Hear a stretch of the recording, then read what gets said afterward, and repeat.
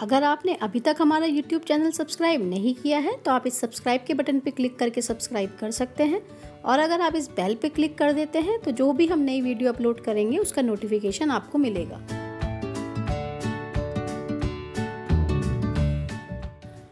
Hello friends welcome to Mansi's kitchen आज हम बनाएँगे ब्लैक करंट चीज़ केक तो स्टार्ट करते हैं इसको बनाना।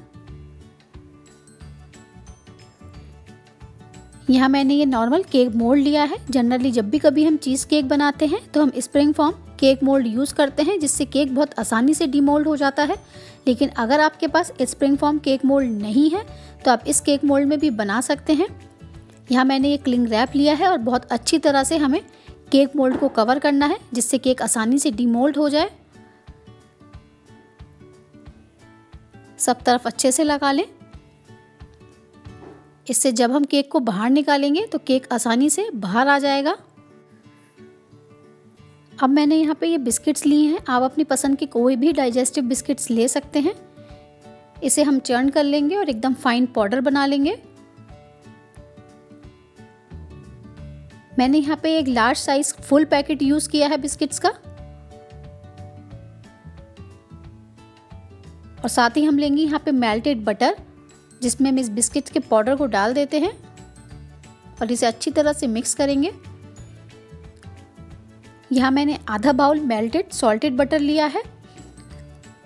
जितनी आपको ज़रूरत लगे उस हिसाब से आप इसमें बटर यूज़ करें। बिस्किट का पाउडर इसमें अच्छी तरह से मिक्स हो जाना चाहिए। अब हम केक मोड़ लेंगे। बिस्किट्स और बटर के मिक्सचर को हम इसमें डाल देते हैं और इसे हमें एकदम एक सार फैलाना है। इसे अच्छी तरह से प्रेस करते हुए फैला लें। इसकी हमें एक लेयर सेट करनी है। और अब हम इसको 15 मिनट के लिए फ्रिज में रख देते हैं, जिससे ये लेयर एकदम सेट हो जाएगी और थोड़ी हार्ड हो जाएगी। केक को सेट करने के लिए मैंने यहाँ पे ये चाइना ग्रास लिए है। ये 10 ग्राम चाइना ग्रास है। तो मैं एक बार इसको ब्लेंडर में चर्न कर लेती हूँ। आप चाहें तो जेलेटिन या फिर अगर अगर भी यूज़ कर सकते हैं।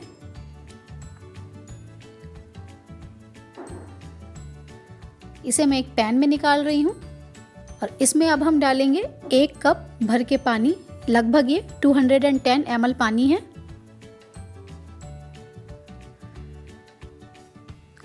और अब हम इसको बिल्कुल लो फ्लेम पे पका लेंगे जब तक ये अच्छी तरह से डिज़ोल्व ना हो जाए। ये देखिए, मैंने इसको एकदम लो फ्लेम पे डिज़ोल्व किया है। ऐसा करने में 10 से 15 मिनट लग सकते हैं। आपको इस बात का ध्यान रखना है, इसे हमें बॉयल नहीं करना है, एकदम लो टेम्परेचर पे इसे मेल्ट करना है, जिससे चाइना ग्रास पानी के साथ अच्छी तरह से मिक्स हो जाए। अब हम ब्लेंडर का जार लेंगे, जिसमें हम डालेंगे आधा कप चीनी और मैं इसको पीस लेती हूँ। अगर आप पाउडर्ड शुगर यूज़ कर रहे हैं तो आपको उसको अलग से पीसने की ज़रूरत नहीं है। चीनी को मैंने पीस लिया है। अब हम इसमें डालेंगे एक कप दही। आधा कप चीनी ली है, एक कप दही लेंगे और थ्री फोर्थ कप हम पनीर लेंगे। चीनी की क्वांटिटी आप थोड़ी ज़्यादा भी कर सकते हैं।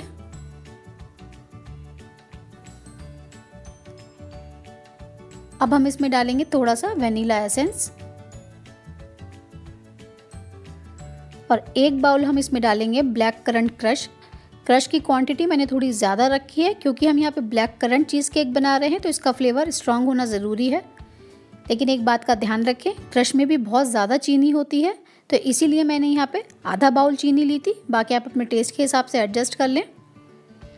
सभी चीज़ें अच्छी तरह से मिक्स हो चुकी हैं। अब बहुत अच्छा इसके ऊपर कलर आ गया है। अब हम इसे सेट करने के लिए डालेंगे। China grass. जब आप इसमें चाइना ग्रास ऐड करें तो ध्यान रखें, ये थोड़ी ठंडी होनी चाहिए। एकदम गर्म चाइना ग्रास हमें इसमें ऐड नहीं करनी है। और एक बार फिर से इसको हम चर्न कर लेते हैं, जिससे ये भी अच्छी तरह से इसके साथ मिक्स हो जाए। चीज़ केक का मिक्सचर अब एकदम तैयार हो गया है। अब बिस्किट की लेयर भी अब सेट हो गई है तो इसको इसमें डाल देते हैं। एक बार इसको अच्छी तरह से हम टैप करेंगे। और इसे हम कम से कम पाँच से छः घंटे के लिए या फिर ओवरनाइट फ्रिज में रखेंगे। तो मैं ओवरनाइट के लिए इसे फ्रिज में रख रही हूँ। ये देखिए, पूरी रात इसे फ्रिज में रखने के बाद केक अब सेट हो गया है। अब हम इसे आराम से बाहर निकाल लेंगे। जब आप केक को डिमोल्ड करेंगे तो हो सकता है कि इसकी शेप थोड़ी सी ख़राब हो जाए, क्योंकि हमने इसे केक मोल्ड में नहीं बनाया था। तो आप इसे नाइफ़ से इसकी साइड्स को स्मूथ कर सकते हैं। ये देखिए, ये आसानी से बाहर आ गया है और बहुत ही आराम से हम क्लिंग रैप को अलग करेंगे और केक मोल्ड भी एकदम क्लीन है।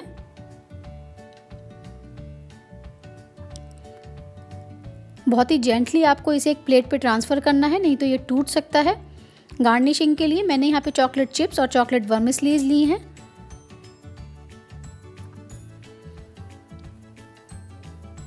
ब्लैक करंट चीज़ केक बन के तैयार है तो इस रेसिपी को आप अपने घर पे एक बार ज़रूर ट्राई करें।